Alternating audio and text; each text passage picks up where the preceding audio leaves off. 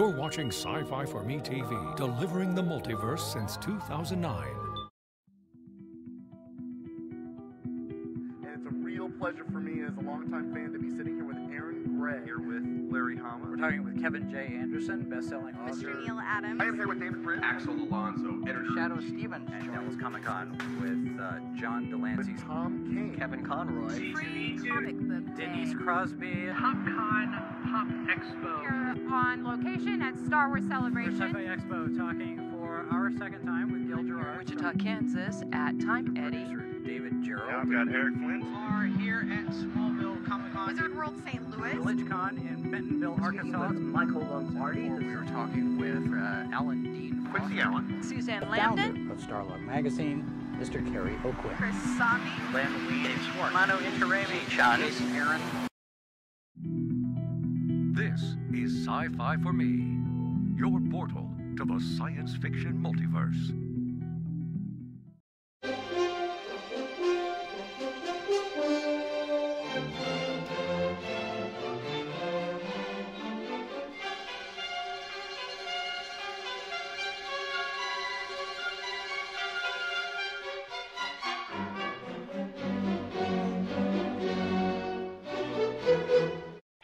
Thanks for watching Sci Fi for Me TV.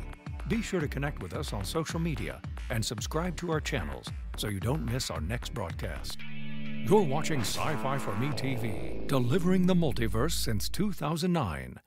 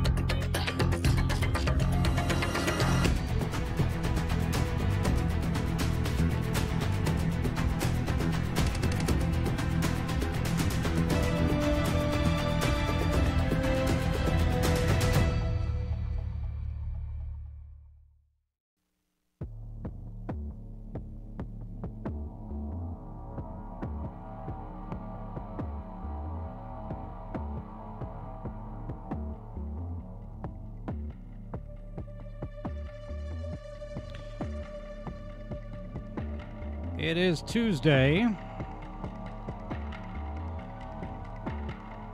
And we've made it past April 1st, thank goodness. Let me tell you how my day started.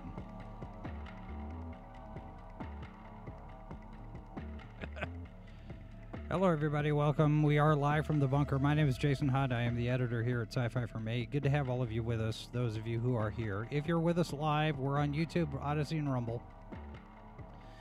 And uh, you can jump in the chat. If you are not with us live, if you're here in replay, you can still leave a comment. Email address live from the bunker at sci fi for me.com. We've got a Discord, we've got a newsletter, all of that good stuff. So my day started early. I had to get up early to take uh, senior office dog to the to the uh, groomer to get a haircut, and uh, he didn't want to go. He was grumpy old man this morning. Don't touch me. Don't pick me up. He was snapping because he didn't want me to pick him up off the bed. I let me sleep. Then I had to have a conversation with my banker. That was only half satisfactory.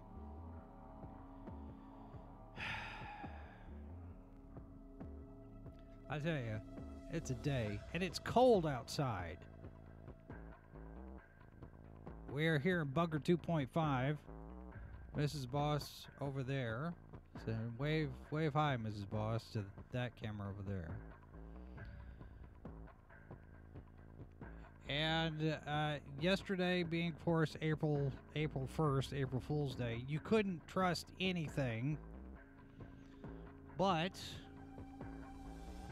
we did get news, uh, and and it prompts a discussion today. And I'm not sure how long I'm going to take on this because I'm not directly involved in the comics industry. I don't follow the comics. I don't read comics much. I've got a whole pile of of comics and totes and whatnot here, but I, I haven't kept up. But this this thing with Ed Piskor, this is something I think needs needs to be addressed a little bit. See, here's here's the thing. Uh, the comics industry is just one aspect of the culture where we are at war. And and I will I will say it that way. We are at war. That did it again. Hold on. Is that doing that? Why did that do that? Let me reset that. It's doing it again. Dang it, Discord. Are you doing that to me again? You are. Hold on.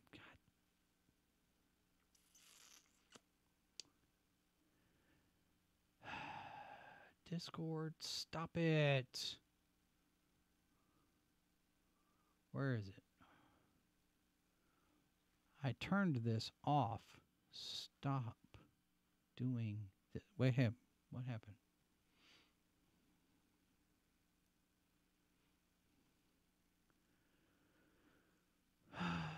Let me see. Hold on. Let me see. Where is it? Where is it? Where is it? Automatic automatic gain control is off. Okay, so why is this happening here? That all? Why is it happening? All right, so that's not there. So it looks like Windows is trying to drop my microphone down again. I wonder if it's StreamYard doing it. I hate technology. I really, really, really do. Hold on. Let me, let me see what's happening here. Turn the mic volume up. One, two, three. Can you guys hear me okay? One, two. 100. Line in. That's right.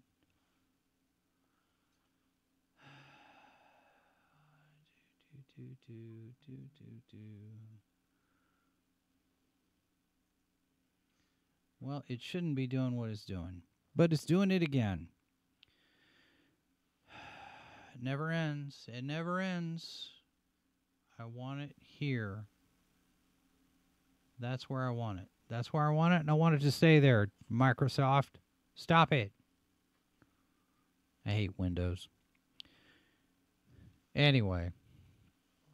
All right, so let me let me look here because I'm not seeing I'm not seeing something. Oh, good night. All right, so that's not even working.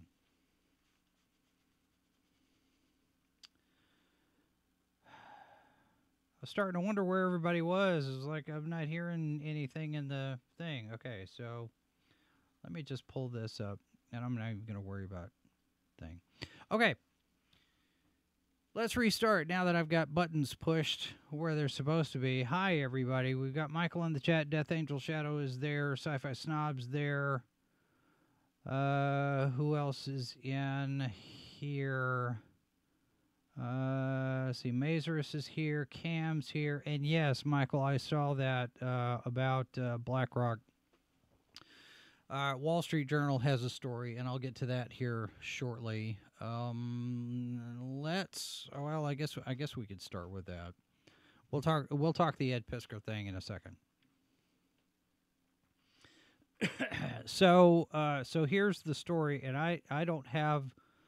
I don't have access to the Wall Street Journal, so I'm having to rely on archive. But this got sent to me today. Disney winning proxy fight against Trian with more than half of votes cast. Lauren Thomas and Robbie Whelan reporting in the Wall Street Journal this uh, last night. Updated. Disney has pulled ahead in its proxy battle against Nelson Peltz' Trian partners with more than half of all shares voted, according to people familiar with the matter. BlackRock, Disney's second largest shareholder, is among the major investors backing Disney, people said. The money manager owns around 78 million Disney shares, giving it. What? Are you? Oh.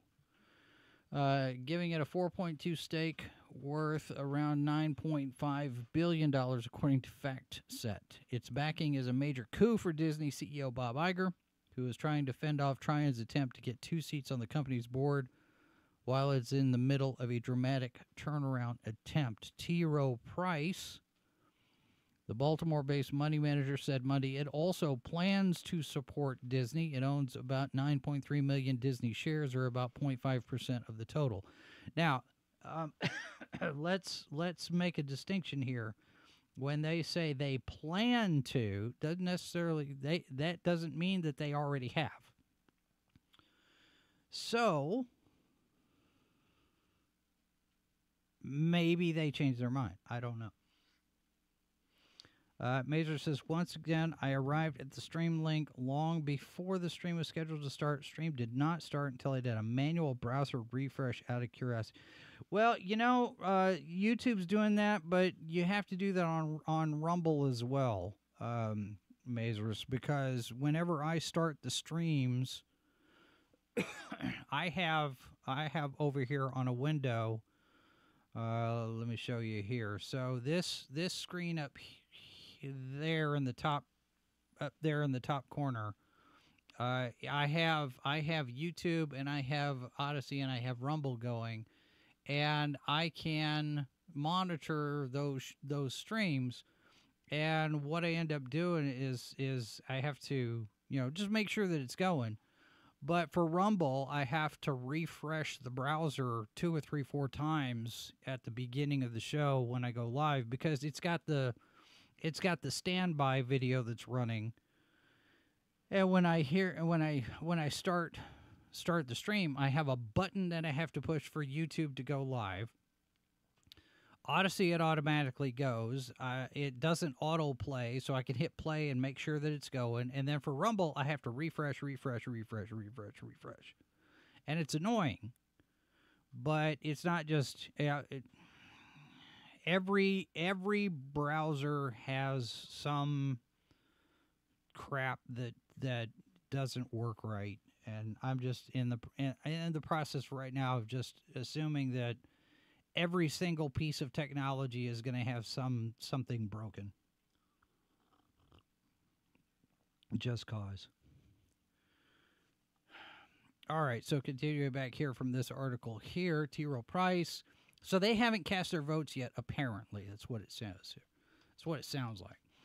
Uh, excuse me. There are no guarantees Disney will remain ahead, given that investors are still casting votes and can change them through the annual meeting Wednesday. Okay, I was not aware. I was thinking that they once they voted, they they didn't change it. That's what I was told last week. But if if they can change it up until because they have until 11 11:59 p.m. Eastern tonight to cast their votes, and then the cutoff at midnight Wednesday, which is tomorrow. Then they start tabulating. Trian is aiming to get seats on the board for Peltz and former Disney finance chief Jay Rasulo just days ago, Peltz was leading the race to replace Disney director Maria Elena Lagomasino with uh, with about 20% of shares voted, but Rasulo was trailing. The hedge fund has support from investors, including Neuberger Berman, which voiced frustration over Disney's handling of succession, and the California Public Employees Retirement System, the nation's largest pension fund. Proxy Battle is expected to be the most expensive of all time topping Trian's 2017 clash with Procter and Gamble. As both sides spend millions courting shareholders, another activist, Blackwell's Capital, is also jostling for board seats but gaining little traction. Iger and his investor relations team, along with several current directors, have been crisscrossing the country in re- recent weeks, suggesting to major shareholders that letting Peltz join the board would be disruptive and counterproductive. Counterproductive to what, Bob? You're losing money. I mean, we had it confirmed in an article in Forbes over the weekend that, that Indiana Jones and the Dial of Destiny lost at least $130 million. We pro- that you probably can double that really based on all of the expenses that we've heard about that we suspect are involved in that production. Trian controls about 32.3 million shares, or 1.8% of the total. The fund has been working alongside Ike Perlmutter, the former former Marvel Entertainment chairman, who is one of Disney's largest individual shareholders, and who gave Trian the right to vote his more than 25 million shares. If BlackRock, okay, here's my question. If BlackRock is the second largest investor, institutional investor, who's the biggest? Who's the largest shareholder? Who has more than 4.2% of Disney. Because I was thinking that BlackRock was the top, was top. Vanguard was behind them, and I, I figure State Street has it, but I'm, I'm wondering who the top dog is in this race. It's not, it's not, uh, it's not Value Act. Hmm. Interesting. It's not Institutional Shareholder Services. Huh. Okay. I'm not sure. The campaign has proved a closer contest than many on Wall Street initially expected. The two major shareholder advisory firms split their recommendations, ISS advising shareholders to back Peltz and all but one of Disney's nominees, and Glass Lewis endorsing all of Disney's slate. Disney received support from several big name investors, including Star Wars creator George Lucas, Asterisk, Laurene Powell Jobs, the widow of Apple founder Steve Jobs, and the grandchildren of company founders Walt and Roy Disney. Asterisk. While individual investors hold an outside portion of Disney's shares and are expected to play a big role, the fate of the proxy battle lies heavily in the hands of just a handful of large shareholders. They include money management firms Vanguard, BlackRock, and State Street which together own more than 16% of the company's shares. Though okay, so if if I was reading scripture, Vanguard would be the biggest, the the first, the the since they're first on the list. So I I I'm going to assume from this that Vanguard owns more shares than BlackRock does. I don't know. All right, uh, let me let me let me see if I can do something here. This, so I'm going to assume that BlackRock is the biggest. Maybe, we'll see. All right, let's see if that works.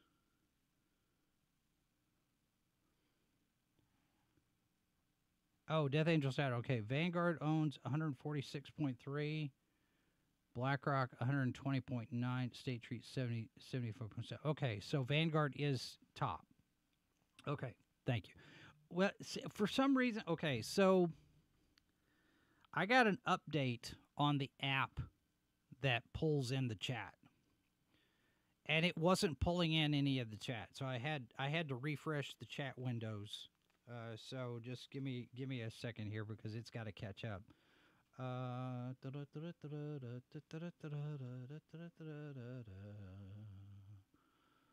all right, just to make sure that everything gets loaded in.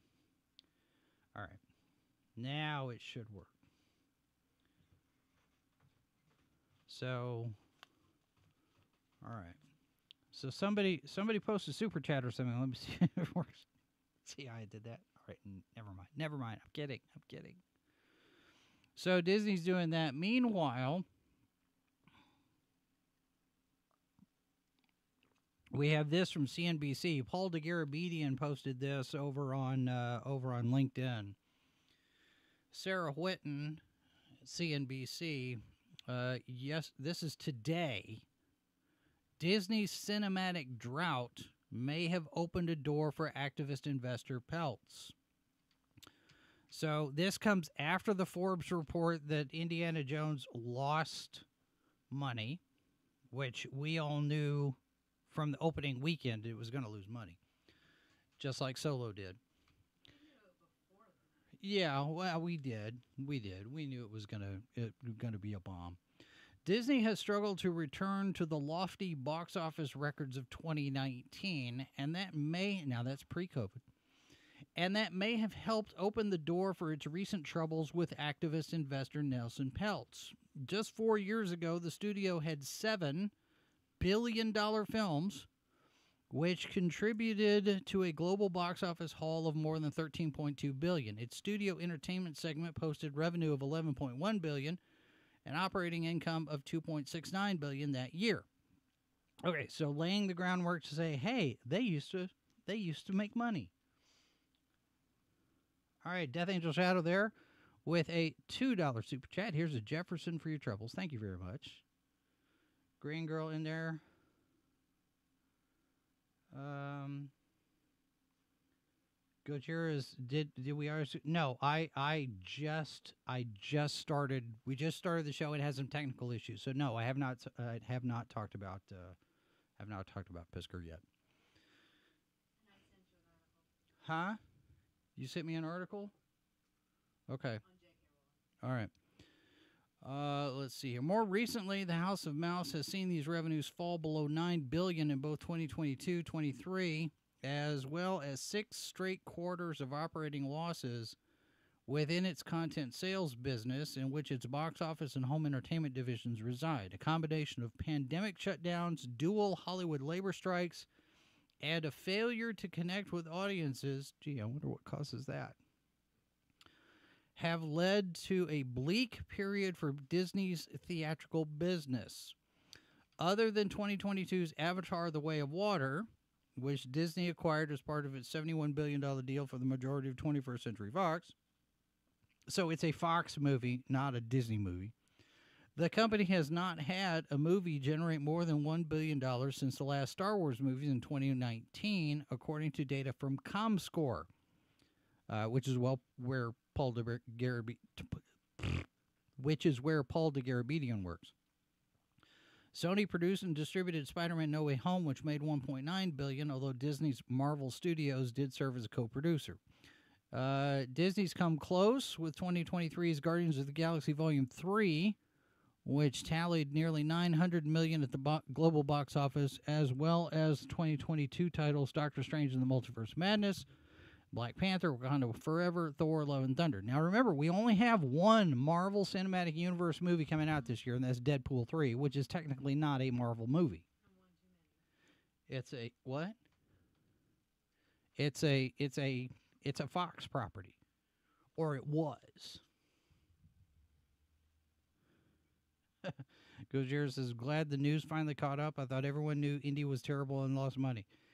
Yeah, I, I, you know, it takes a while for the media to come around, but part of that is they certain certain players in that arena have to be told when it's okay to change the story. The narrative has to hold up for a certain amount of time, after which yeah, we can acknowledge that The Last Jedi was not all that great. Yeah, we can acknowledge that Captain Marvel wasn't all that great. And the only reason it made a billion dollars because it was shoehorned in between two Avengers movies.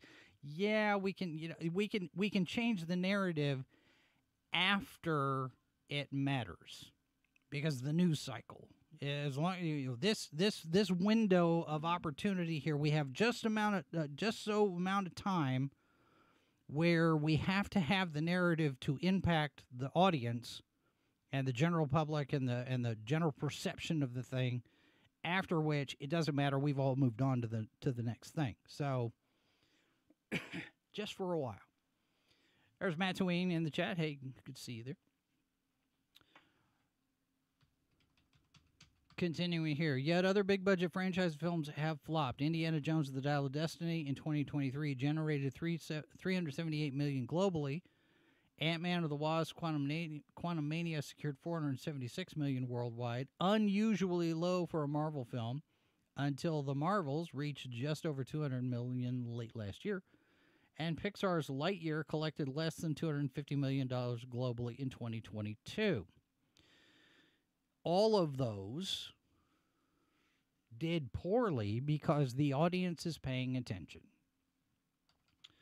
Disney's recent struggles at the box office have become a key piece of fodder for Trian Fund Management as Peltz seeks a board seat for himself and former Disney CFO Jay Rasulo. Peltz has been critical of the Disney board stating it lacks focus, alignment, and accountability and has failed to act as the company's earnings, reputation, and stock price have suffered. Disney shareholders will vote on board nominations at the company's shareholder meeting Wednesday. So it's going through the the the Disney the the critiques, the criticisms, and the and the and the commentary uh, that Peltz and Trian have gone through uh, and then and then Disney's response to all of that, you know, about the the Marvel thing and and the pandemic and what Bob Iger sits there and says, "Well, yeah, we we gotta we gotta change our strategy." So, I I can't tell if this is if this is a hit piece against Peltz or if this is a hit piece against Disney or if this is just one of those let's fill in the gaps and tell people what's going on because it doesn't really seem to it doesn't really seem to have a side so much. I mean maybe kind of a defense of disney i'm not sure. But we have this one here. Disney dei efforts targeted by trump aides legal group amid proxy fight. Now one stephen miller is not an aide to donald trump anymore so that's kind of superfluous and not even necessary for the headline, but it is necessary because we have to do this us versus them thing because well, of course, it's a Trump person who's who's going after the DEI. This is Hollywood reporter Winston Cho again. Disney's efforts to boost diversity are under attack ahead of a key shareholder vote to elect its board that will shape the direction of the company. Stephen Miller's America First Legal Foundation, in a letter sent to Disney's top brass March 27th, claims that the, the initiatives to boost diversity and inclusion violate civil rights laws and have tanked the entertainment giant's value. Year to date, Disney stock has risen more than 30%. Well, that's artificially inflated, we think. The group asks for the appointment of an independent monitor to investigate the issue, inspection of internal records, and distribution of the missive to all shareholders in what appears to be a bid to undermine Chief Executive Bob Iger in a proxy fight against Nelson Peltz. So we're we're we're lining up this article, uh, this this article basically saying Bob Iger is under attack from a Trump guy. That's how it starts. I mean, literally the word attack in the first paragraph. so this is like, oh, these people are coming after Bob Iger. Well, no. They're questioning the strategy that Bob Iger and the board of directors have taken that has proven to not be profitable. In recent years, here's the article, uh, Winston continues Disney has been criticized by conservatives for adding racially diverse and gay characters in movies. In a November, not just conservatives. I know a lot of left to center people are looking at this going, really, guys? Do we really have to do message movies? It's not just conservatives. In a November 29th interview at the New York Times Deal Book event, weeks after the Marvels underperformed in its box office bow, en route to 206 million globally, Iger acknowledged the impact of Disney's culture war critics on its operations. Quote, creators lost sight of what their number one objective needed to be. He said, "We have to entertain first. It's not about messages." And he said that at one of the one of the uh, one of the quarterly earnings calls as well. He acknowledged. He sat there and said, "Yeah, you know, we kind of we kind of dropped the ball. We we we took our eyes off the target. We got to be entertaining, and it's not message first; it's entertainment first. Now, of course, that's just lip service that he's paying to that, trying to recover. We know he doesn't believe it because we've seen some of the some of the leaked Zoom calls and the different internal stuff where basically, you know, Iger's like, yes, we absolutely have to dive into politics when he's talking about the, the, the Florida thing. So Bob Iger talks out of both sides of his mouth. And yeah, Gojira has a good point. Nobody's upset in inserting diversity. They're upset about only inserting diversity and ignoring story and quality and enjoyment. Is it, that's exactly right if you're going to do an agenda driven film, you'll have much more success and you'll gain much more traction if you do it as a documentary. Here's this story about this person who's trying to get this thing done to do whatever. You you but the the thing is when you're putting the message into these things that are supposed to entertain, the key is to do it subtly and almost subliminally, subconsciously, so it's not overt. Because if it's overt in your face, people will have a more visceral reaction to it, whether it's negative or positive. It's too right there in your face, people are going to have a reaction. So,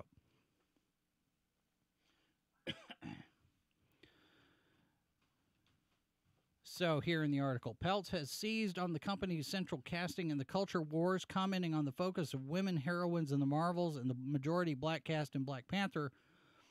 Quote, why do I have to have a Marvel that's all women? Not that I have anything against women, but why do I have to do that? He told the Financial Times. Why can't I why can't I have Marvels that are both? Why do I need an all black cast? Well, okay. This this feels like it's a quote taken out of context I don't know the context. and I don't know how much Nelson Peltz knows the Marvel Comics characters. So take that one with a grain of salt. America First, founded by Trump advisor Miller, which is completely immaterial to this story, claims the creative direction of some of those movies can be traced back to Disney's implementation of inclusion standards, which outline criteria intended to boost representation of underrepresented groups. The standards do not explicitly mention race or gender. It claims they established discriminatory. What in the world is going on out there? I guess. One of the cameras just shook though. It's like what what is what is going on? No, I, the Yeah, it's the mailman. Okay. Uh, it claims they established discriminatory hiring quotas. They do, pointing to one provision requiring that at least half of producer and writing staff come from such groups. And and we know uh, from those internal Zoom calls because Christopher Rufo blew blew the door off of that one and exposed that uh, when when all of the DEI stuff, you know, my my secret my secret gay agenda, you know, those those things that got exposed in those in those Zoom conference calls from what three years ago now, two years ago. So we know that they have have been discriminating based on race and gender, which is illegal.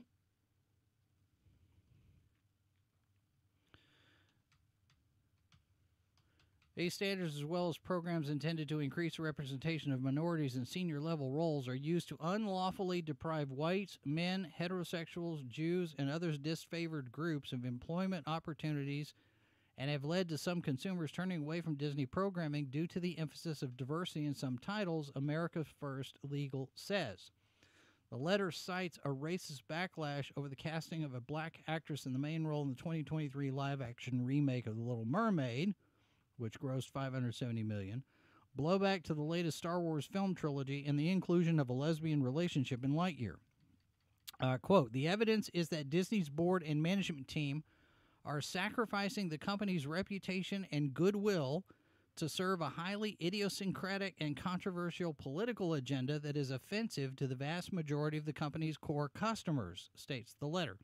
This conduct, which is motivated by something other than the best interest of the company's shareholders, lacks a rational business purpose. So they're basically saying, hey, you got a fiduciary duty to make some money, and you're not doing it. You are sacrificing your profit and the success of your company on the altar of identity politics. So that's that's an interesting um, that's an interesting way of looking at it. Is you know it's it's it everybody's going to weigh in. Everybody's going to have an opinion on this stuff. so we'll see. Uh, here's deadline. Disney. This this kind of runs parallel to the Wall Street Journal thing. Disney said to be edging past Nelson Peltz in proxy fight ahead of annual meeting. Um, okay, so this is just this is just a rehash of the Wall Street Journal thing, but um, it says here that T. Rowe Price has come out in support of Bob Iger. That's not what the Wall Street Journal reported. They said that they plan but they haven't actually cast their votes yet. So we'll see. We'll see. Meanwhile, oh, you sent me a you sent me a thing. Meanwhile, with uh, with politics being the way it is, we've got a couple of things here. Oh yeah, okay, I've got I've got that one. So J.K. Rowling's in the news again because April 1st, there was a new law that went into effect in Scotland. I should have that 70s rock fan come on and have Brian talk about this because he's he's Scottish from from Canada.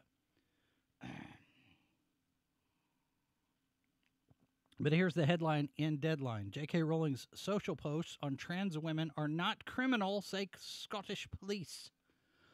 And I know that's a disappointment to a lot of people because they were hoping, they were hoping, they were just really chomping at the bit. It's like, okay, April 1st, this law goes into effect and then we can put her in jail. Not so fast. J.K. Rowling's social media posts about trans women are not being treated as criminal according to Police Scotland. We have received complaints in relation to the social media posts. The comments are not assessed to be criminal and no further action will be taken, said a spokesperson. British Prime Minister Rishi Sunak, who doesn't really look British, but okay, has backed Harry Potter author J.K. Rowling over her stance on Scotland's new hate crime laws. Rowling had taken to social media to send a series of mocking posts about trans women designed to test the Hate Crime and Public Order Scotland Act, which recently became law to stop people stirring up hatred. Sunak gave a statement to the Daily Telegraph newspaper saying his Conservative Party would always protect free speech, adding, quote, people should not be criminalizing for stating simple facts on biology. Oh, hey, I expect uh, I expect Prime Minister Sunak to be canceled by the end of the end of the week.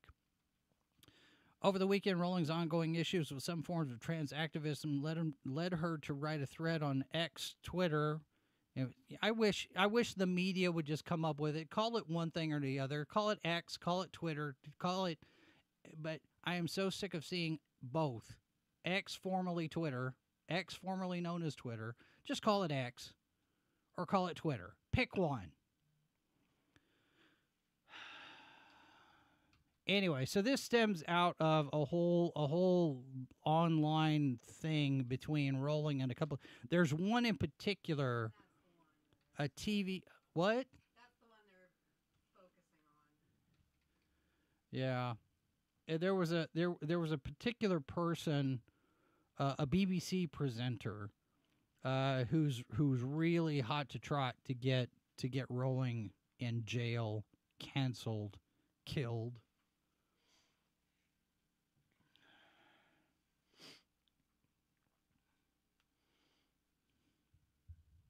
Yeah, it's uh, it, it's it's crazy. It's crazy out there. Dumpster fire? Yeah, I, we, we could call it dumpster fire. I mean, I call it Twixer you know, I throw that big capital X right in the middle of it and call it Twixer, and I, and and that works for me. I'm fine with that.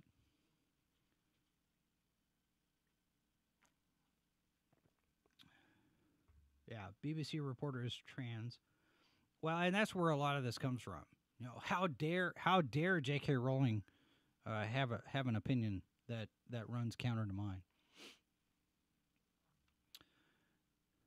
All right, here's a quick follow up to um, Hugo Awards stuff, and then we'll take a break and we'll come back and, and talk about the Ed Piskor thing. By by the way, Disney is currently sitting at one hundred twenty one dollars and forty two cents. Uh, again, it sets my teeth on edge to be quoting from Mike Glyer's file 770, but this is Mike Glyer's file 770, which is where I saw this. I didn't have time to, to see if I could find it anywhere else. So this is what we're stuck with. so Death Angel Shadow saying, should I rename my dog Thor Dylan? Uh, okay, so you've got a dog named Thor. You're wanting to see if we need to rename Thor Dylan Thorvaney. Uh, that's completely up to you. I mean, if if Thor decides suddenly that he wants to, I don't, no, don't don't you don't need to change the name of the dog. so here's the headline in file 770: Person refused membership by UK EasterCon and escorted out by security. Okay. Oh, oh, he's going. He's going to get fixed tomorrow. I see. I see. No, no, he's still. He's still Thor. He's still Thor. He's still Thor. So I find it interesting this article here because Mike Glyer is one of those types. Uh, you know, and and when the when the whole sad puppy thing happened, he was definitely one of those types. But the in, the the the headline here: person refused membership. Well, what person? Because this is about a specific person. Why don't you say his name in the headline, Mike? Because you can't stand this guy. But if if you're going to be a journalist, then objectivity would say we put the guy's name in the headline because clarity. Reports circulated Friday that Dave McCarty had been refused admission to the UK EasterCon being held this weekend. McCarty had posted a flight itinerary to the UK on his Facebook page on March 27th. File 770 contacted the Levitation uh, UK EasterCon 2024 committee asking if they could confirm the story or put it to rest. Uh, today, Farah Mendlesohn, chair Levitation 2024, issued the following statement. Okay, so EasterCon is one of these uh, traveling conventions, very much like WorldCon. Uh, I think World Fantasy goes goes different places, so it, it travels. It's hosted in a different city every year. So this year it's in the UK at, at Levitation. And Dave McCarty, for those of you who have not uh, who have not been keeping up, he was running the Hugo committee that tabulated all of the votes to determine who wins the Hugo Awards. And because of shenanigans,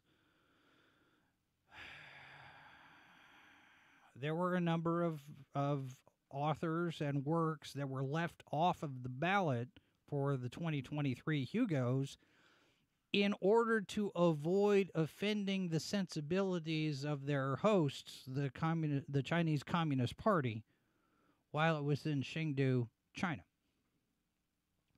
So there's been all sorts of hullabaloo, and McCarty's reaction to certain questions about it, and then some new accusations against McCarty about various different things like sexual assault and harassment and whatnot.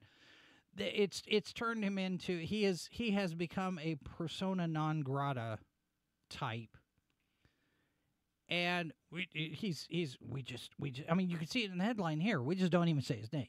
He he you can't even say it. You know, he's a he's a he's a Voldemort now. He who he he who shall not be named. Which is pretty stupid.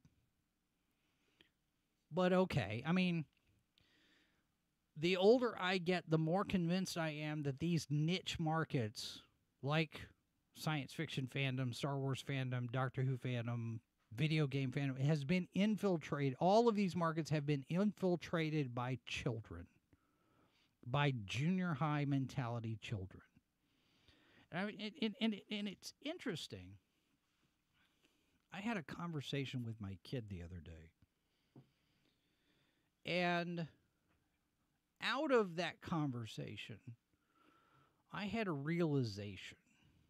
A lot of people in that generation,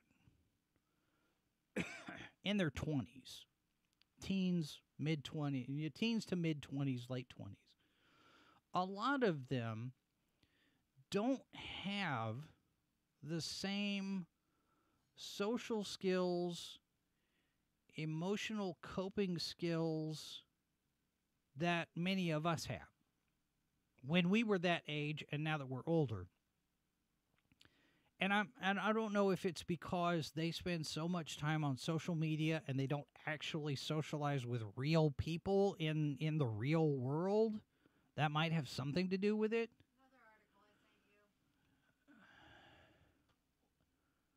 Okay.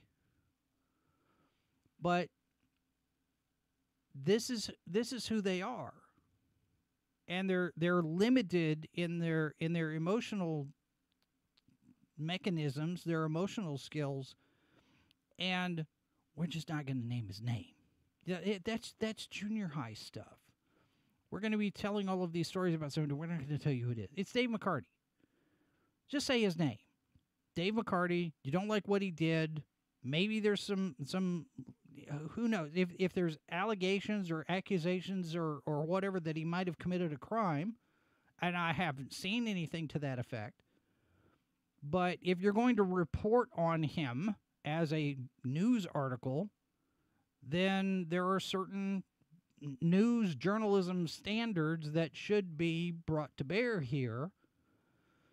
But this this mean girl junior high neener neener attitude that has just swamped all of of all of the different cultural fronts entertainment you know video games movies tv books all of it.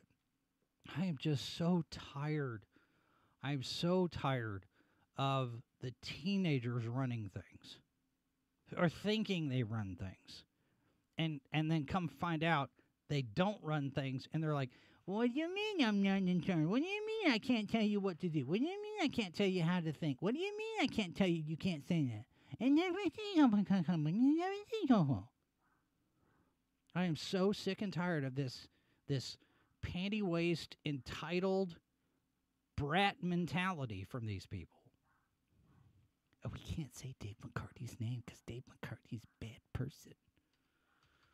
So here's the statement from EasterCon. On Thursday, the Levitation Executive Committee was informed that a person whose presence we believed would cause significant interference with the operations of the convention was intending to join on the door.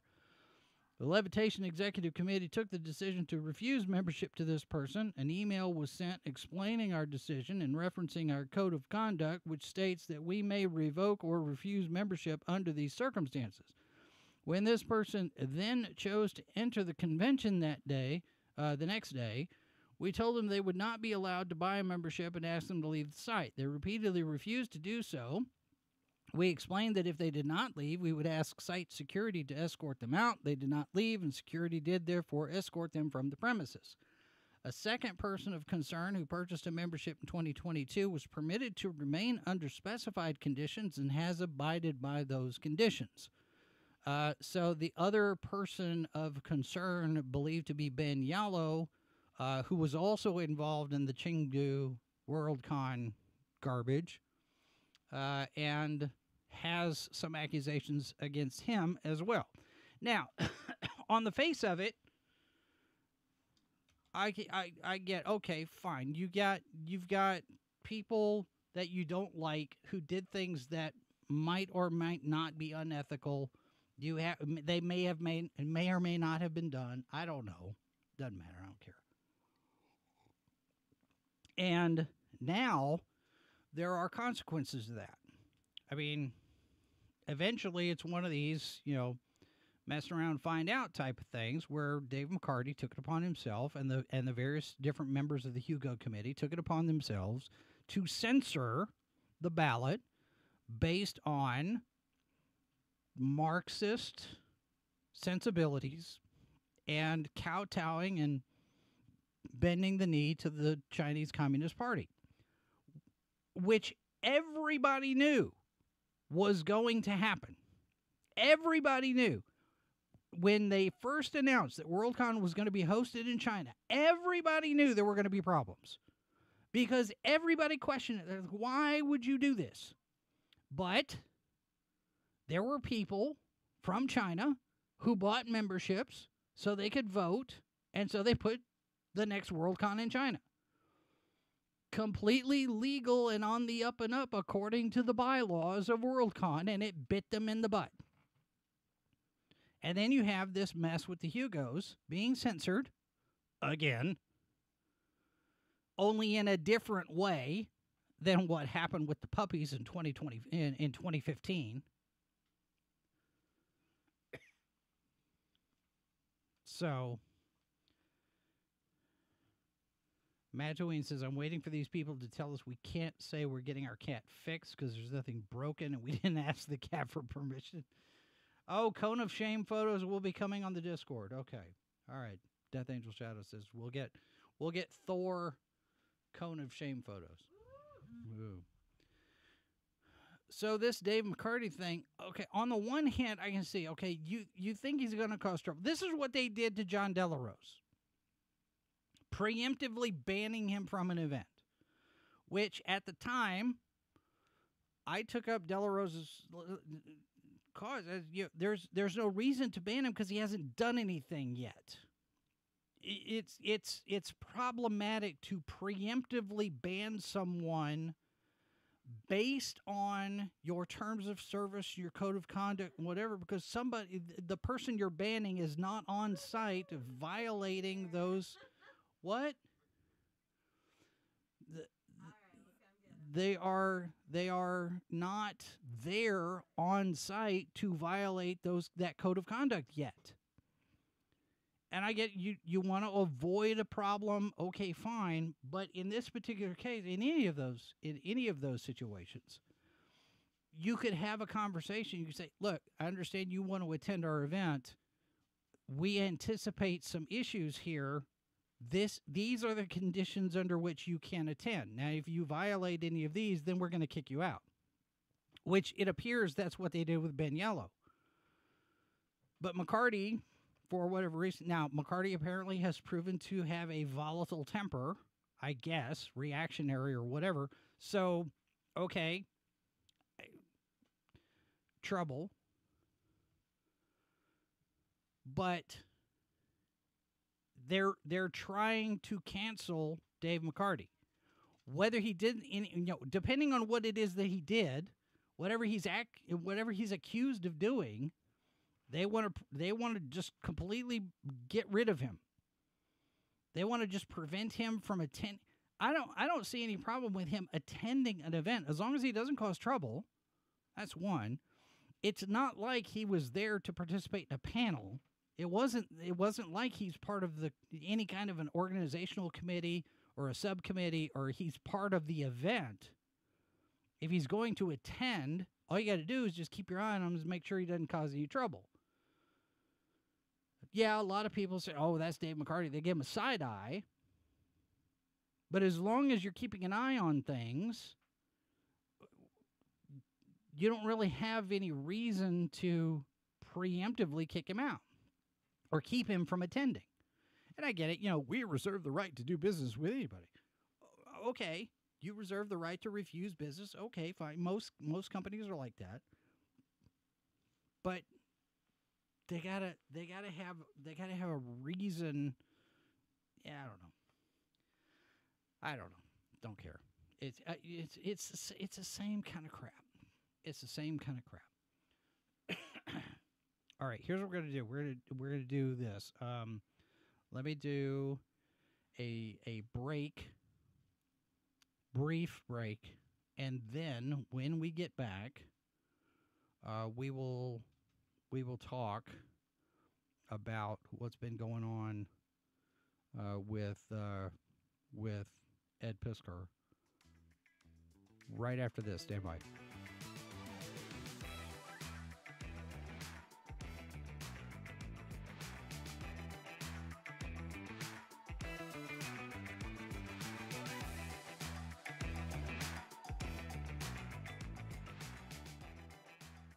Live from the bunker. We'll be right back on Sci Fi for Me TV.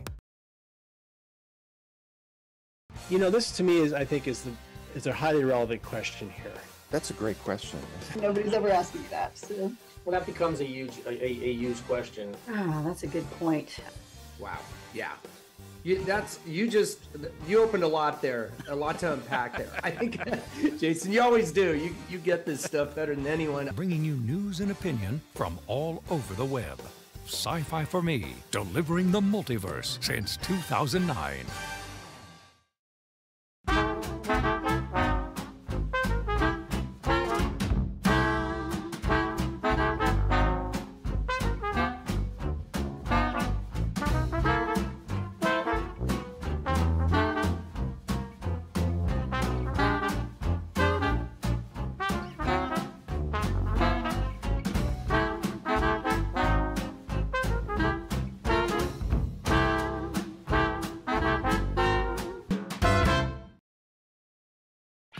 Thanks for watching Sci Fi for Me TV.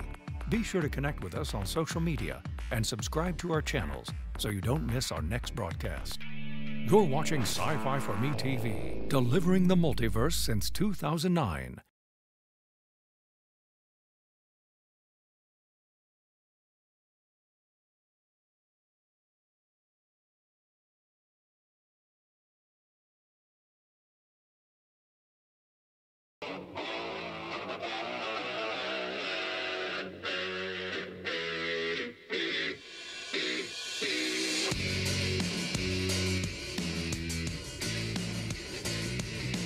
Yeah, I've got I've got Windows sitting here trying to readjust my my volume all the time again, and I don't know what's doing this. I thought it was Discord trying to do it, um, but it appears to be it appears to be something else. God bless it. I just I I am so sick and tired of this. And it's the microphone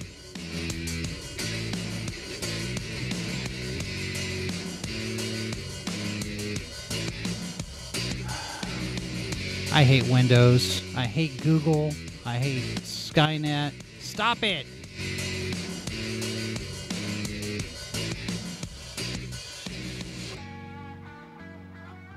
I hate technology. That's just that's just it. Everything's everything is working, conspiring to get me into the 20th century. I, I part of my part of my conversation with the bank this morning was the fact that my monthly fee includes a piece. There's a line item in the monthly fee. I have to pay five dollars a month just to get paper statements from my bank. It was like, well, you know, if you just did e-statements, it cost you less. I'm like, you guys are just, just really, really just want to get me to to just. I I don't want to do everything electronically. I hate this stuff. I hate Google. I hate I hate Windows. I don't know why it's doing this. It just started this. It didn't used to do this. I don't know what it's doing. This thing's jumping all over the place. Stop it.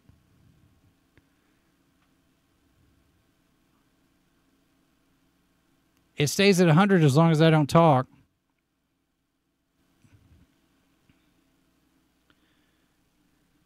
Did I disable exclusive mode? Exclusive mode where? A, a, a, poor craftsman blames his tool. Yeah, I can. I can. Yeah, I'll blame my tool. I'll show you. It's doing. I. I'll show you. I'll show you right here. Look. Let's see. Let me show you. Let me show you. All right. So here's here here. I'll I'll I'll show you what it's doing. I don't know why it's doing this. All right. So look, I will set it at 100 and I will talk and see. You look, see, it's doing it all by itself. It's all going down, down, down, down, down, and it will settle at eight. I don't know why. I don't know why it's doing this. This is so freaking annoying. Additional device properties. Let's see if we can get anything else. Where is it here? Levels. Advanced. Give exclusive mode application priority. Enable auto. Do I have to check these things off? Turn those off. Turn that back on there. See what that does. Does that change it? No, it it's still it's still doing. I'm unchecking everything, and it's still doing.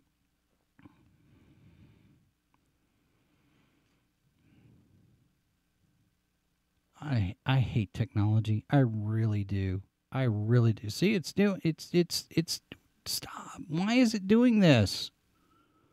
Stop doing this.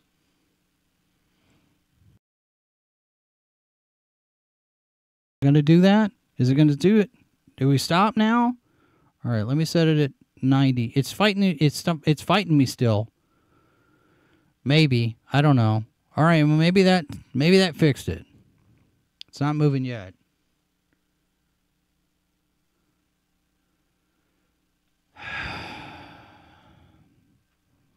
Right, I'm going to keep an eye on it. See what happens. Okay. yeah, it'll hold until the next Windows update, right? All right, so here's here's where we're at. So let's let's go back on the Ed Piskor thing. Yesterday, being April 1st, a lot of people were wondering if this was a gag or not, but it turns out to be true. Uh, Ed Piskor of Comics Kayfabe YouTube channel, uh, Marvel X Men artist, uh, and he's he's been he's been doing a number of different things, comics wise. Uh, apparently, got accused. Uh, and and we're in the day and age where the Me Too movement has been weaponized, and so accusation. I mean, and we know how how progressives and the left work. The accusation is enough uh, that you don't even need proof. But apparently, somebody came forward and said, uh, "Ed Ed tried to groom me when I was a kid."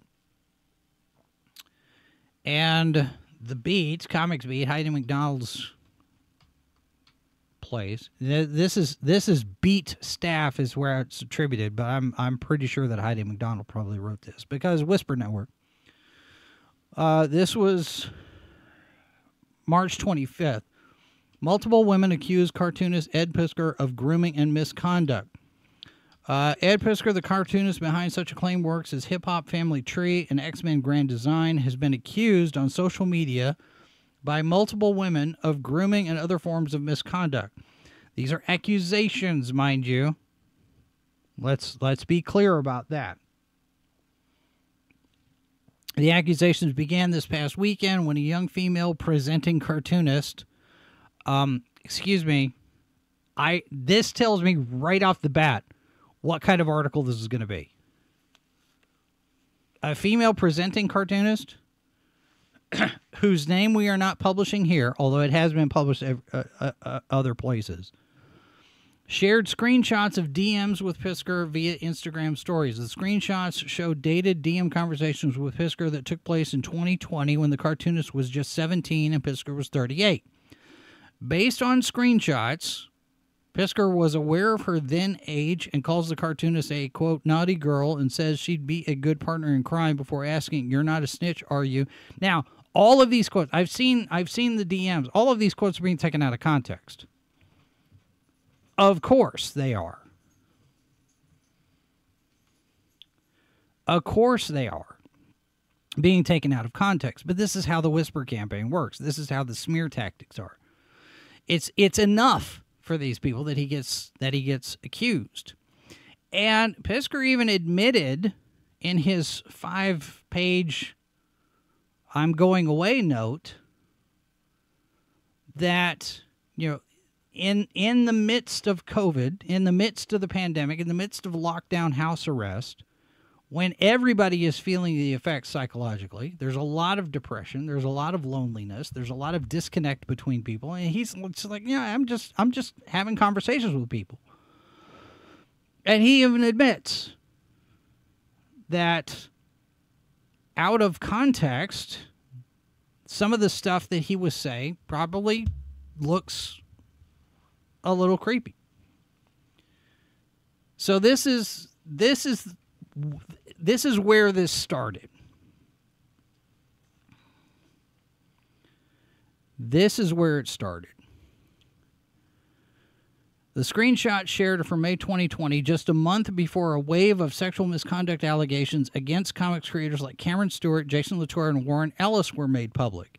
If you thought that might have made Piskor think twice about his own behavior, though, that appears not to have been the case.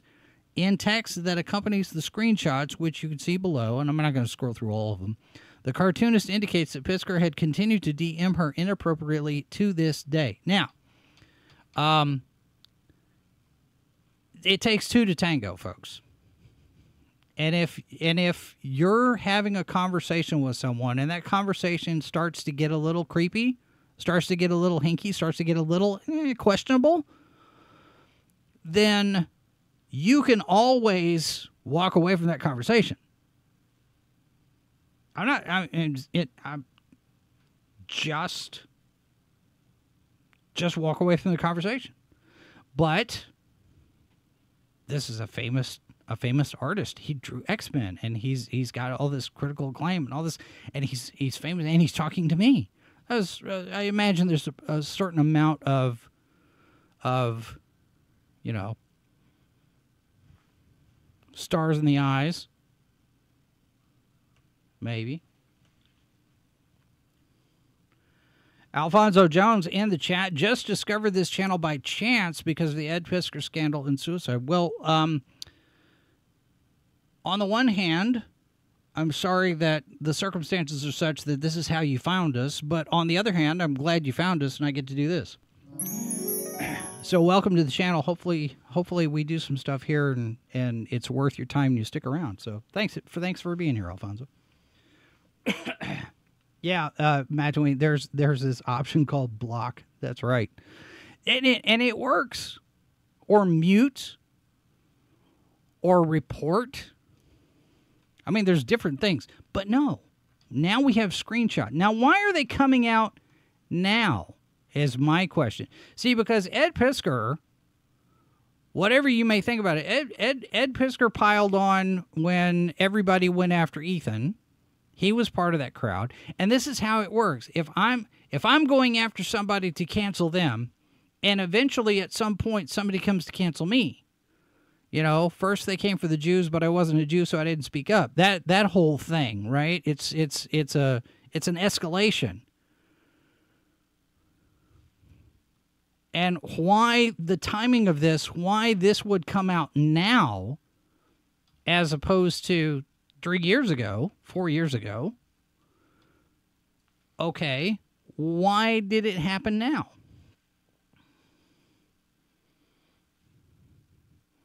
Well,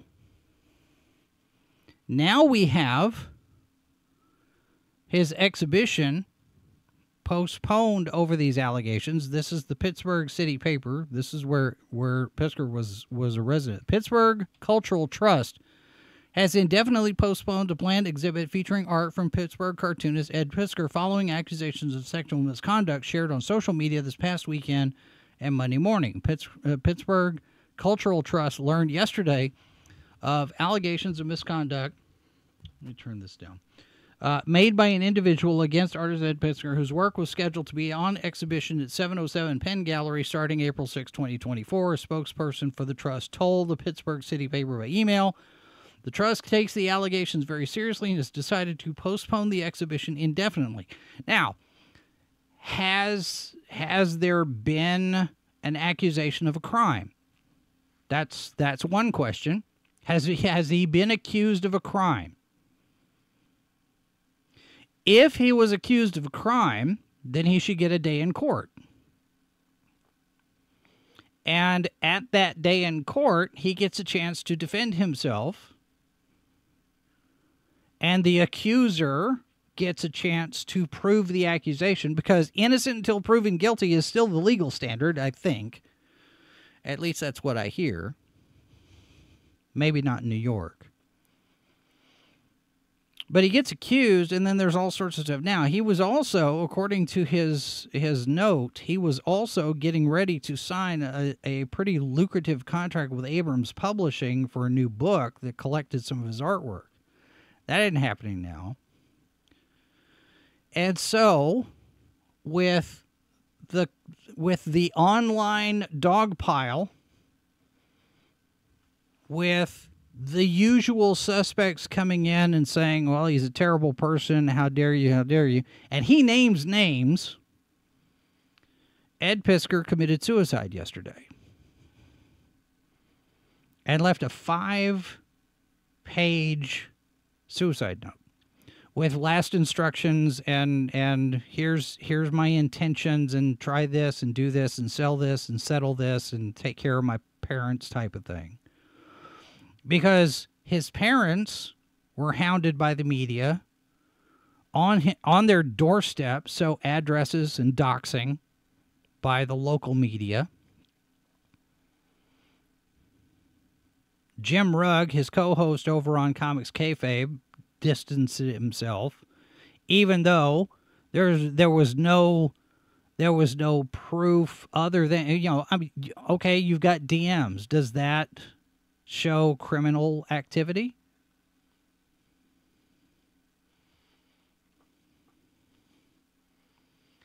Is he accused of a crime? Because I haven't seen any accusation of a crime.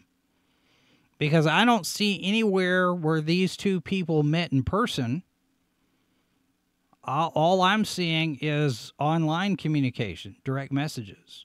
And Piskor even says in his note that a lot of what's being quoted was taken out of context, which it's the internet. Everything's taken out of context. But he's got five pages here.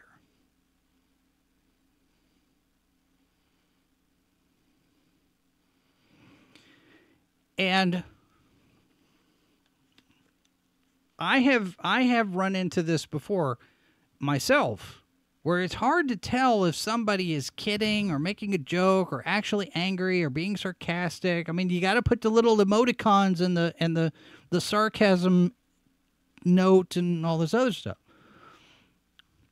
There are a lot of people that are looking at this thing right now. But let me let me do let me let me go through a couple of things. He says there was no way I'd have a 17-year-old stay at my place. Maybe not 18 even. I was forward projecting to some unknown future where COVID lockdowns were finished and we could see people again. And it wasn't even with sex in mind, but simply saying that there's a bed here to crash like the kindness that was given to me a bunch of times when I was starting out. Zine Fair in town, come crash. Ask Liana Finck or anyone else who's come to visit. It doesn't mean sex. So he's he's basically saying if you're in town for an event, you can stay here. You got a place to crash. I mean, I've had that conversation with people. Hey, you know, if you're if you're coming in town, you need some place to stay. I've got an extra bed. You can sleep on the couch. Perfectly innocent in that context, I guess. Yes, maybe.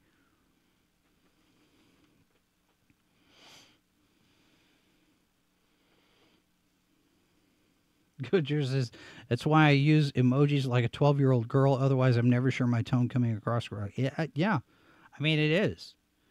Yeah, I do. I I don't have I don't have a sense of humor at all.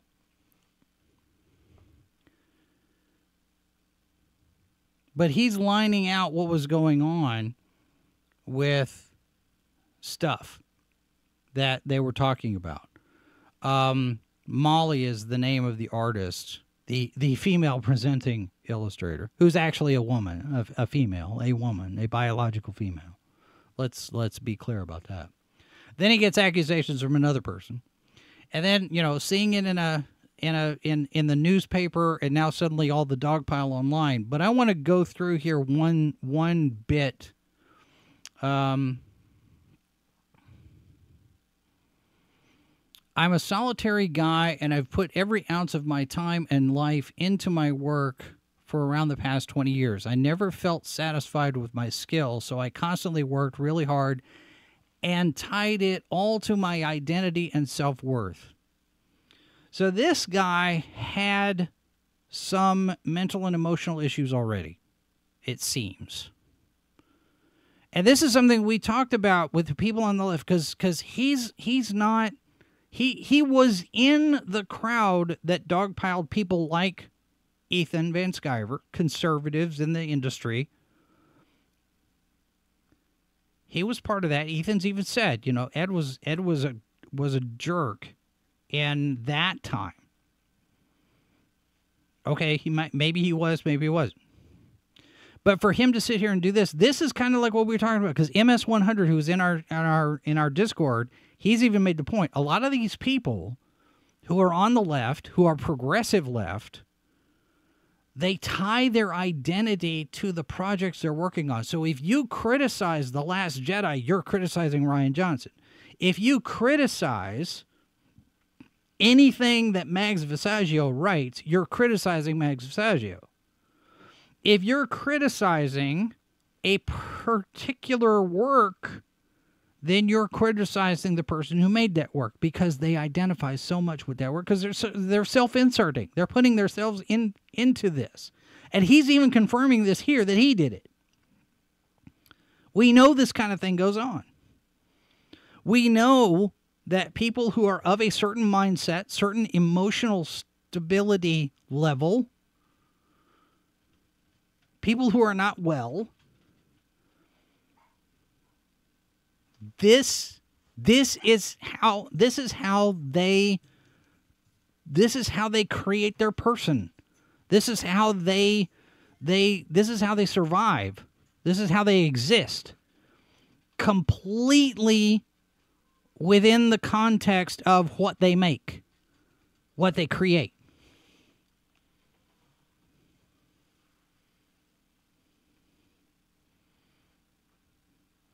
Alfonso says, I may have been completely wrong, but I always got the sense Ed was putting up a facade as far as his personality how he carries himself. He might have been. He might have been. It, you know, and, and I've even had the conversation here because Minnie and I have talked about this.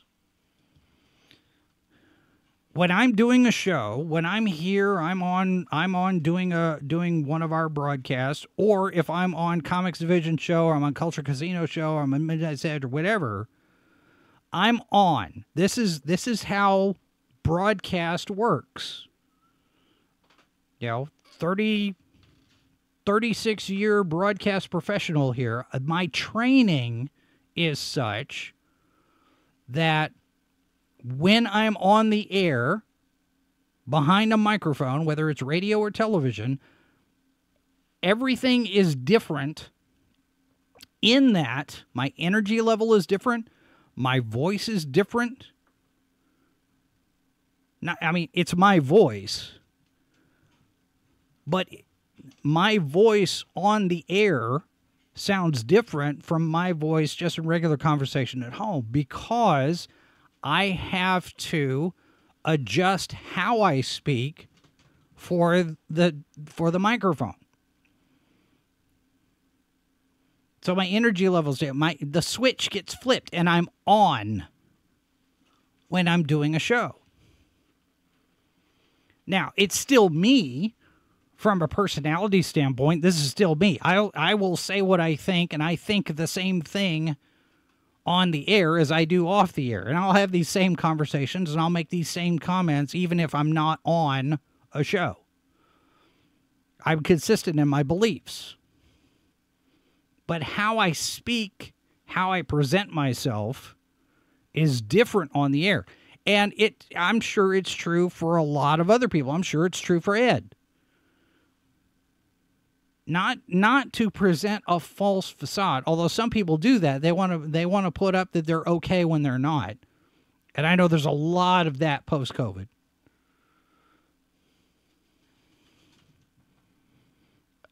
I'm not. I'm not a. Okay, so Cam, your comment here when I'm not doing a show, I'm a mute puddle. When I, when I I saw that out of the corner of my eye, I thought it. I thought it said, I thought it said mute poodle, and now now the mute poodles are going to be the name of my next band. I, I I'll tell you that right now. so, excuse me. And yeah, Alfonso, you're right. If you're not 100% comfortable with the person you are and what other people think of you, well, whether it's true or not, can be devastating. It can be. It can be, especially especially for the younger people. And I don't know how. I, I think he was what 41, so he wasn't that young. He was younger than I am, but that you know age doesn't necessarily mean emotional uh, emotional maturity. And if he was already having issues, and I don't know that he was, but his you know if his if his emotional health, his mental health was tied to his work, and I need validation for my work. I need validation for me, and in order to get validation for me, you've got to validate my work. That's not a healthy place to be. So he's he i mean he's talking about he's talking about some of this stuff as he's going through and basically kind of lining out the timetable of where everything where everything happened. He says some good people reached out and tried to help me through this whole thing but i'm just not strong enough. The instinctual part of my brain knows that i'm no longer part of the tribe. And again this is cancel culture. This is this is the cancel this is how the cancel cult works you're no longer part of the tribe. You're no longer part of us. You're no longer one of us, one of us, one of us. And that tribalism goes on both sides of the aisle, by the way. It's not just the, the SJWs on the left, the woke crowd, the progressives, the Marxists. The conservatives are doing it too.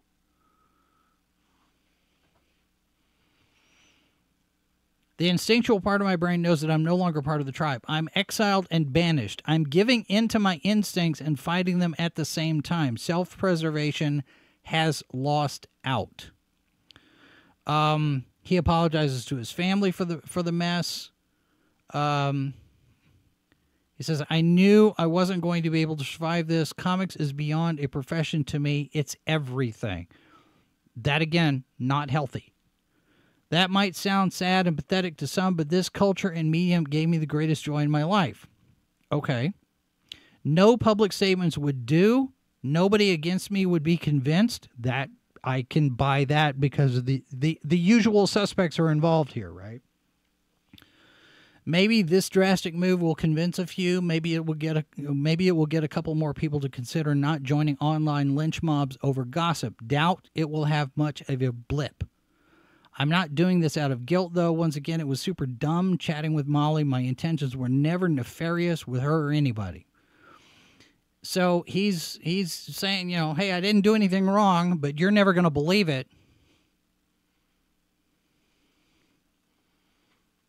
And yeah, Cam, you're right. This was his own tribe that turned against him.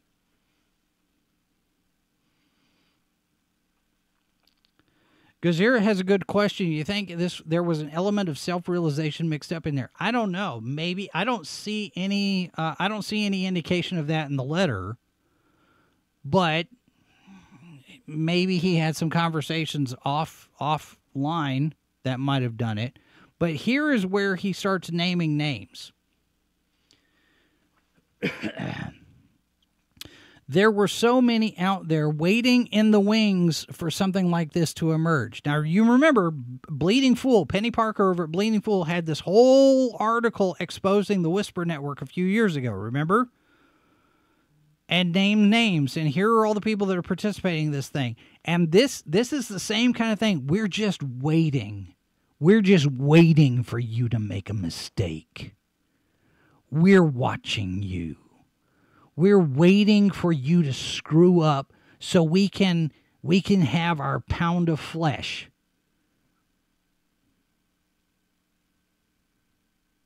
This is how the tribe works. And you're right, Cam. He he probably. He, I mean, he even says this. It doesn't matter what I say, nobody's going to believe me if they've already decided they're not going to believe me. And that's how this works. That's how the cancel cult works. It doesn't have to be true. It doesn't have to be true. It only has to be effective. Because it's about control. It's about controlling the narrative, it's about controlling the population. And this is true not just in the creative space, not just in the media, not just in comic books. This is everywhere. This is all over the internet.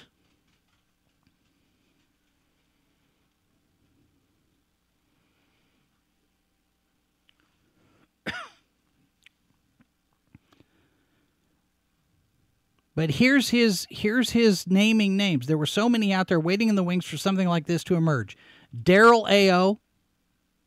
We've had that name show up before. Called it a kill shot. You've all got your wish. You were waiting for something to blow out of proportion, and it got served to you on a silver platter. Ramon Villalobos, Cam Del Rosario, JB Rowe, Molly Wright, congratulations. You got your pound of flesh. Evan Dorkin, I hope skeletons from your closet get revealed someday. Alex de Campi, may you continue to have zero success no matter how hard you continuously leverage other people's business from your bully pulpit. Those names keep showing up. Those names keep showing up. It is a modern day lynch mob. And yes, yeah, it's too late now.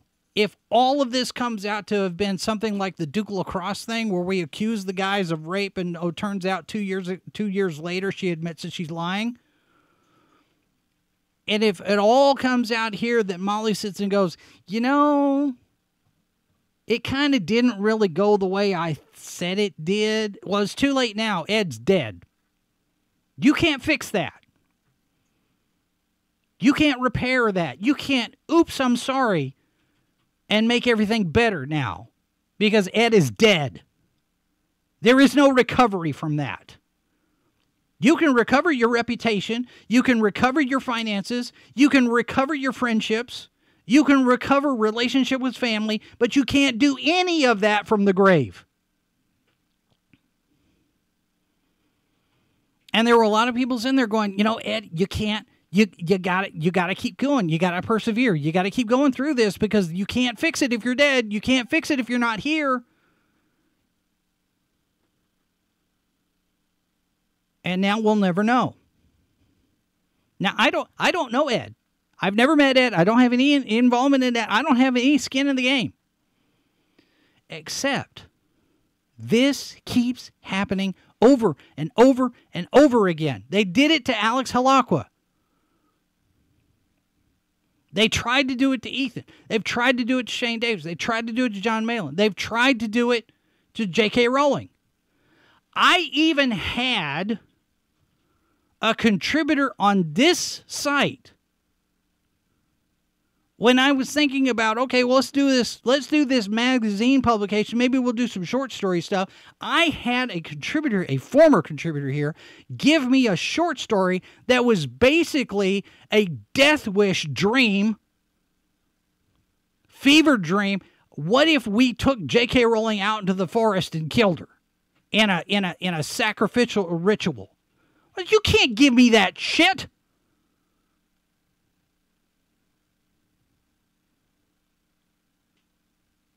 Absolutely this is the kind of crap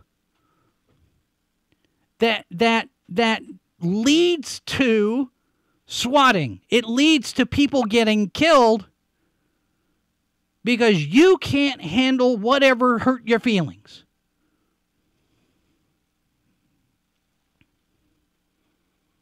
And now Ed Piskor is dead.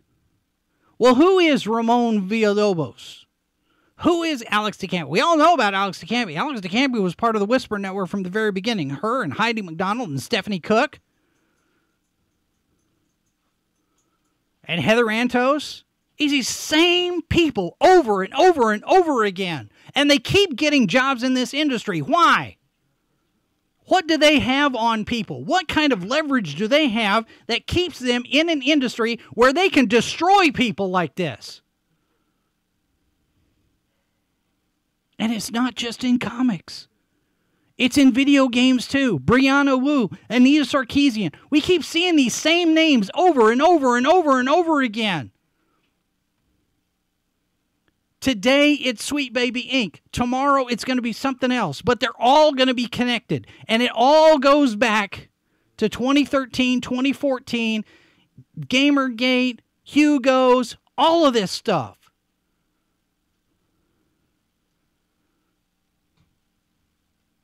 All of it is the same thing over and over again. It's these junior high, mean girl, neener neener mentality, and these people think that they have power over us.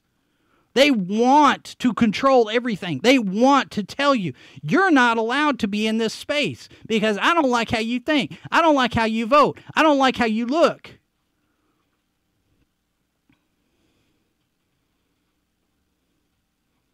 And yes, and yes, Camp, they did want to do this to Zach. They absolutely wanted to do this to Richard. Mark Waid, B. Clay Moore. B. Clay Moore took to Facebook and went on there and said, Does anybody know if this Richard Meyer guy is going to be at Baltimore Comic Con? Because I'm going to try to see if I can get him to, to punch me was actually talking about provoking a physical altercation so that he could cause physical harm to Richard Meyer. Mark Waid interfered with a legal contract between Richard Meyer and Antarctic Press and basically said, It's nice business you got there. Uh, it, would be a shame if anybody, if anything happened to it, Ben.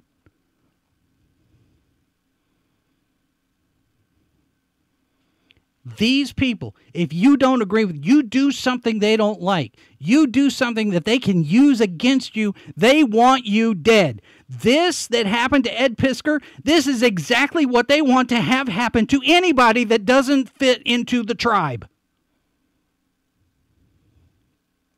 And it's not just comics. It's not just Alex de Campi. It's not just Ramon Villalobos. It's not just Heidi MacDonald. It's not just Rich Johnston. It's not just Mike Glyer. It's all of them. It's everywhere.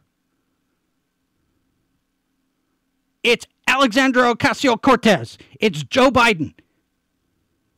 It's Gavin Newsom.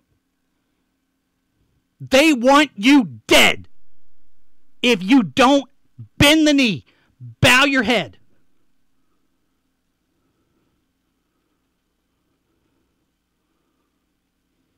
Especially if you're white, especially if you're male, especially if you're a Christian, especially if you're heterosexual. They want you dead. Well, Ed Piskor is.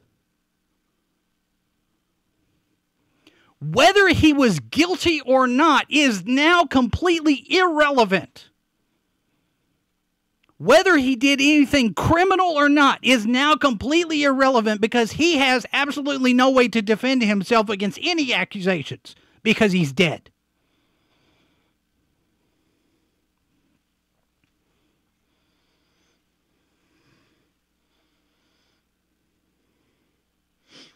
All right, so Alonzo. okay, so Alonzo is new to the show. and he's like, "Oh crap! What did I just walk into?" He's like, "How has everything become a political and cultural landmine? Because they've they've invaded our spaces, Alonzo.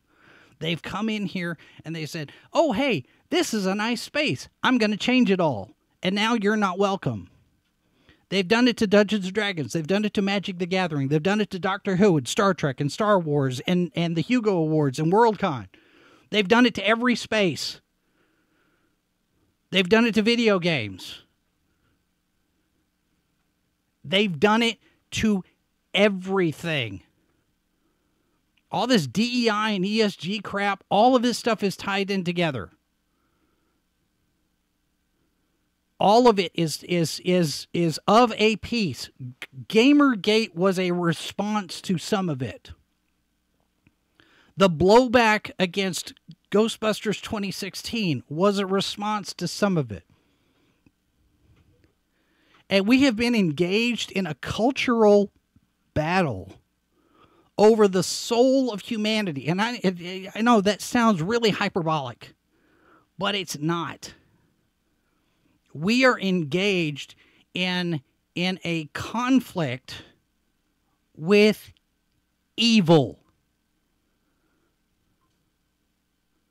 Demonic forces. I know, I know that I know what that sounds like. I know I'm starting to sound like, you know, Alex Jones.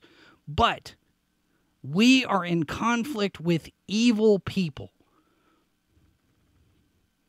People who have absolutely no restraint whatsoever. If I don't like something you did, I don't like something you said, I am going to try to get your job taken away from you. I'm going to try to get your friends taken away from you. I'm going to try to get your life taken away from you.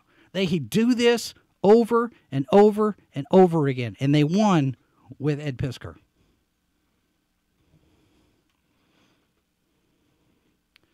Bob Iger is in there too. Iger's a little more circumspect about it, but we've got video of him saying, "Well, absolutely, Disney Disney needs to lean into politics uh, in in response to what happened in Florida." Bob Chapek didn't want to do it. Chapek had conversations with DeSantis. He's like, "Man, I don't want to touch this," and DeSantis, is right? You're right, you don't. But you had your activist people on the inside. Your employees are sitting there going, "Bob, we've got to do something." We've got to do something. We need our safe space. We need our teddy bears with our rainbows. And and and and and and and and and and, and DeSantis is going to take that away.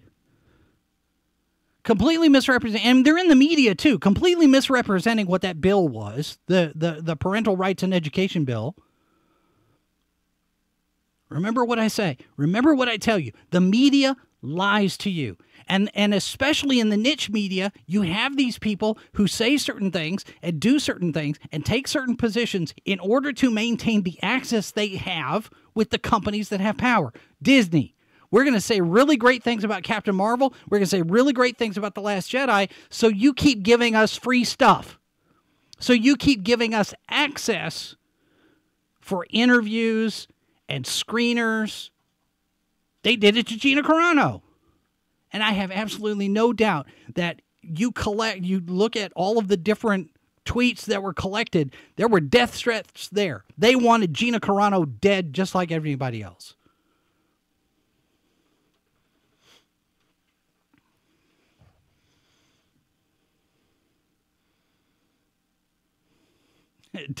Don says Jiminy, Jiminy Cricket's a rant in progress. Sorry. I just I you know, I just I just get so incensed about over this stuff.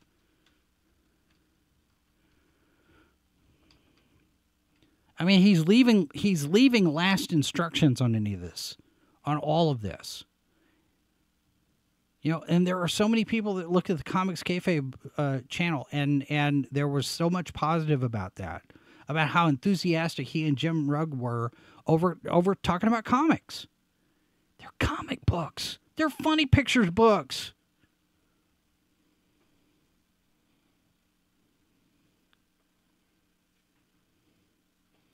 Have they done it to the Power Rangers? Um well,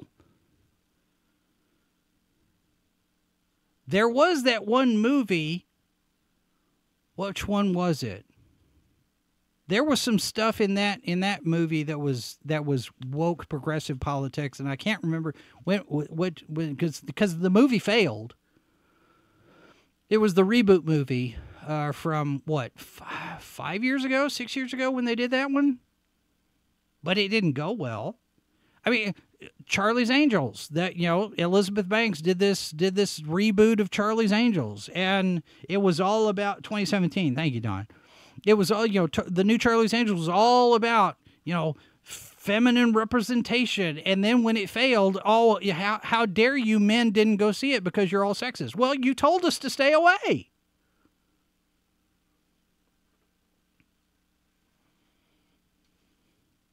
There's Stephanie in the chat. I think the issue with Gamergate is the same as some of it.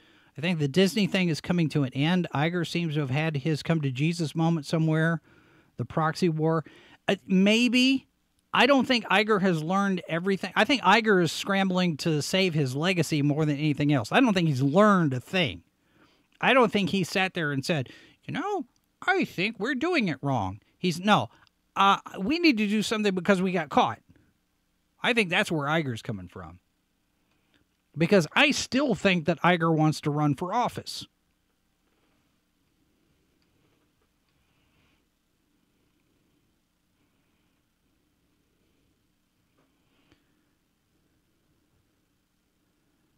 So he's he's doing all of this. He says, "I'm guilty of being stupid, no doubt, but that's all. I never thought in a million years that I'd take this step, but I also never in a million years thought that something so Orwellian would ever happen to me. You never know in this life. I was murdered by internet bullies. Massive amounts of them because it wasn't just the the people he named. It was everybody else that piled on and dogpiled and how dare you and and the internet court of opinion is guilty until proven innocent. And how do you prove a negative? You can't. So Ed Piskor is dead.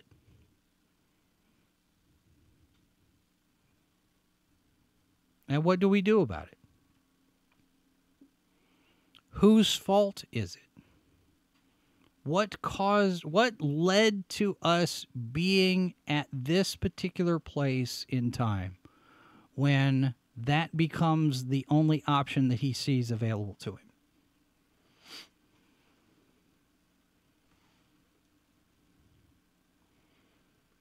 It's a sad state of affairs, but it is not a surprise for those of us who have been paying attention to this stuff for a number of years.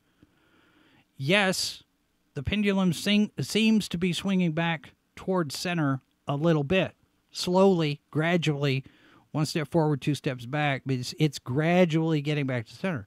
And there are people that are saying, enough is enough. There's pushback in some of this culturally, not just in the entertainment stuff, but with regard to government policies and what certain agencies are doing, what what the banks are trying to do, what what you know, the whole the whole of everything. It's all connected. There's one man show showing up. Hi, one man show. Good to see you. Uh, Sci-Fi Snob says it's his fault. He should have been stronger and listened to his friends who tried to help him. Well, you know, reading this letter, all his friends abandoned him. I mean, Jim Rugg came over to talk to him, and there were plenty of people that are, that were posting responses saying, "Don't do it, don't do it, don't do it. You matter." But by then, I think he'd already, I, I think he'd already checked out.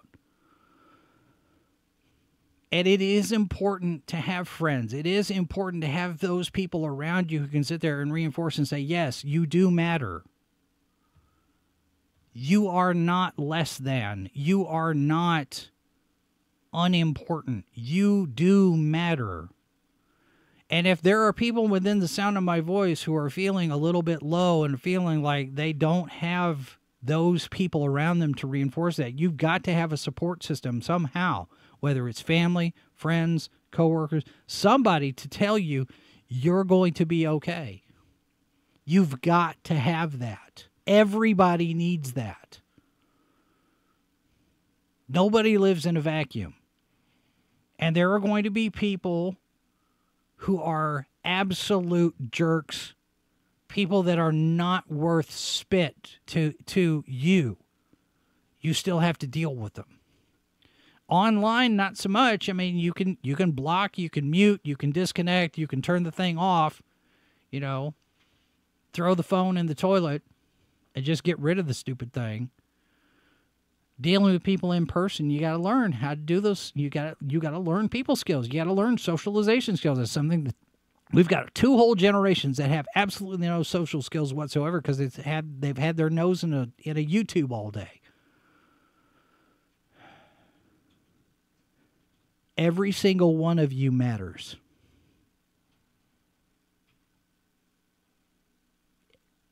Most of you, I don't know from Adam. I haven't met you in person. I don't know who you are, but you matter. On a, on a particular level, you matter to me because you're the audience. You keep coming back and you you give me a reason to do this every day, and I appreciate that. But on another level, you matter as a person. You are important.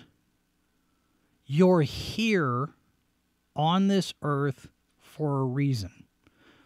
May not know what that reason is. And I've told James, my son, I've told him, I said, people will come in and out of your life. They come into your life for a reason, they leave your life for a reason. There is a purpose to everything.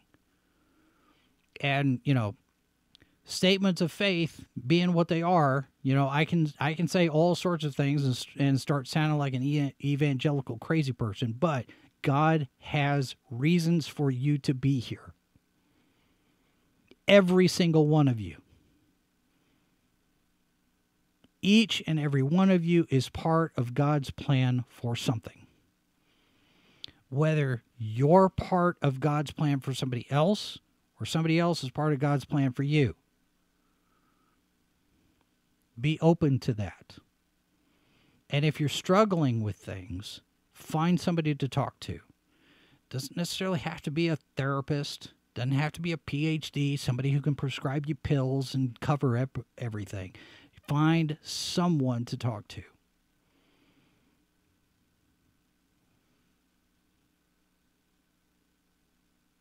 Go to the park, play chess, go to the library and and sit and read. Be part of a group somewhere. Find somebody to talk to. And and you know even if it's just getting in the discord and sending me a direct message and saying hey i'm not doing too well today. I will be there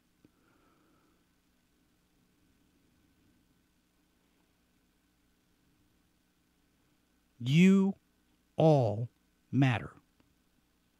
Ed Piskor mattered. Alex Halakwa mattered. And I know I'm saying his name wrong. But you all matter. You matter to somebody.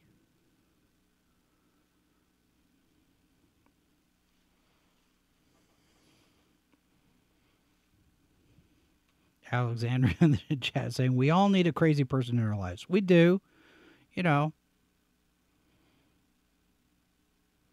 Is Discord pulling their no ads policy? I don't. I don't know what the current policy is on Discord with the ads. Um, I have to look into that. I saw. I saw a mention of that the other day. That Discord was going to start throwing ads into into things, which you know, if they're going to do that, okay. Snob says, "Be right back, packing up the family to come live in Jason's basement." I don't have any more room in the basement.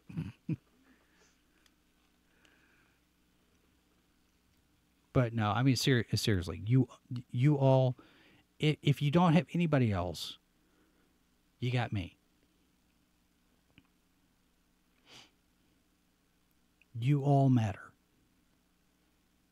So, you know look at the world a little bit sideways, give it the stink eye every now and again, but keep in mind at all times, keep in mind that this too shall pass. Anything that you're going through, anything you're going through, it it can be dealt with you can learn to cope. It may take time. It might take it might take some treatment. I mean, if it's an illness, I mean, yeah, Michael Michael talks about having having an illness. It's that still there's there's treatments. There's there's there's there's ways of dealing with situations that you're in, whatever they are. And, and I'm painting with a broad brush.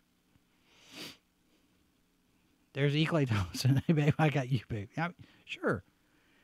And, and you know, maybe that's a coping mechanism too. Find a song. I have a song. I haven't listened to it for a while. Uh, maybe I need to. But everybody's everybody's got to have every everybody needs that one thing that they can use to just take a breath, decompress, take a step back, and say, This is temporary. This will change. Might get worse, might get better. This is temporary.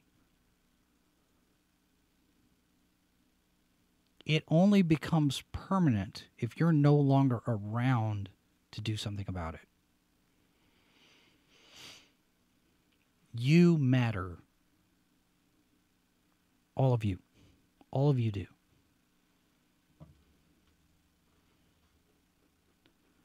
Gajira says, worst periods of my life led to beneficial results you have to power through and not be afraid to ask for help. That's that's a key piece. You have to you, no man is an island, right? You have to be willing to talk to people. You got to be willing to open up. It's just a little bit, just a crack. Just a smidge. Hey, I'm hurting. Hey, I've got this problem. Hey, I've got this issue. I don't I don't know what to do about this. And Alfonso's right. Critical to never lose hope, even if things are, are are collapsing. And if you can recognize your part in that, if it's your fault, so much the better because you can sit there and say, "Hey, I know I screwed up. Here's how I'm going to try to fix it."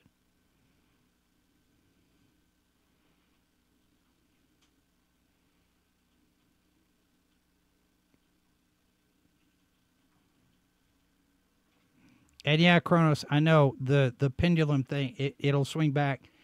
I, I don't know that it's going to swing all the way farther to as far to the right, because I think that there are enough people around that recognize the danger in extremes.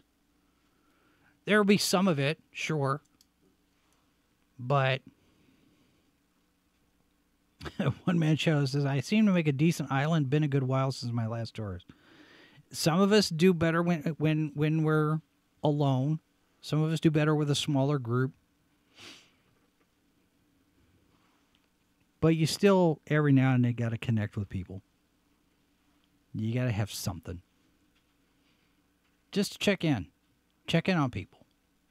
And and maybe you're not the one that needs the friends so much as you need to be a friend. Just check on people. Hey, how you doing today? Is everything going all right?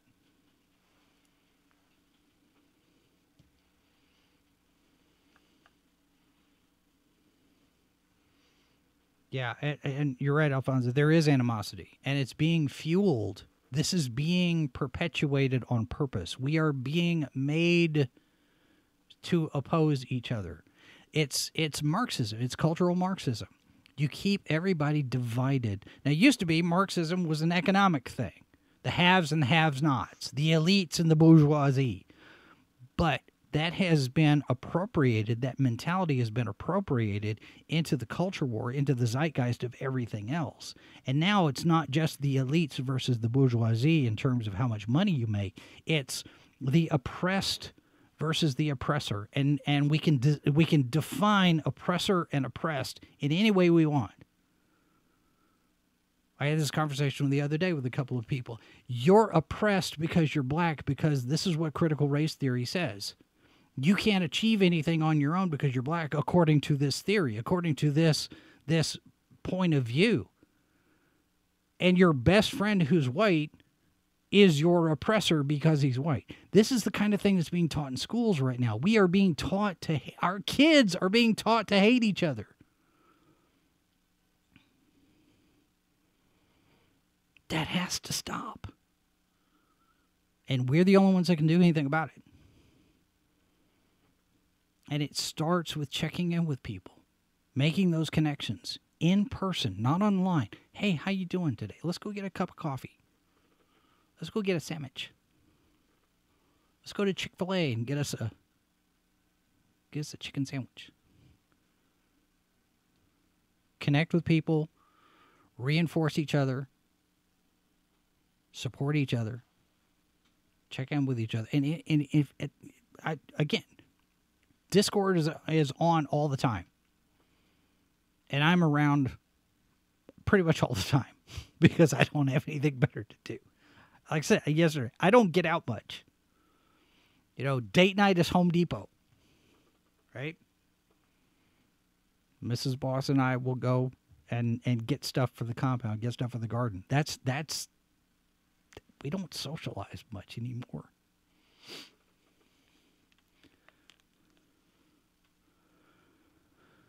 You all matter. Weatherman coming in says, uh, catch the replay. Okay. Good to see you. And it looks like my microphone is holding its holding its own. So thank you, uh, thank you, Death Angel Shadow, for for helping me fix that. That, that was so annoying. And I didn't change anything. Oh well. All right. Uh, we will wrap up with that, folks. Just just just know that everything everything is temporary. This too shall pass. Things can get better. They might get worse, but they can get better. So, I mentioned the Discord. Uh, we do have all of these other social media channels where you can uh, you can connect with us. The the uh, the newsletter, SubscribeStar, all the video platforms, all the social media, which is evil and soul sucking, but it's kind of a one of those things where we use it to try to let you guys know what's going on. And uh, we'll be back to do it tomorrow. Tomorrow is D Day for Disney. Uh, the the shareholder meeting uh, webcast will start at 1 p.m. Eastern, same as what we're same as our time. And I'm not sure exactly what we're going to do, but we'll be around. We'll see what happens.